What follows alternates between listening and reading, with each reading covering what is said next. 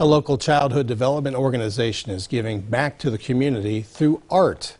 Knapp Center for Childhood Development will be moving to a larger location next fall. It's seeking high school and college age artists for a competition. The selected winners will paint murals located in the new Knapp Center building. The seven winners will also receive $1,500 to put toward school tuition. Our goal is to be a leader in the community, and as a leader, we want to give back and serve the community. The deadline to submit artwork, that's June 11th. To find more information about the Art Scholarship Competition, visit WKBN.com.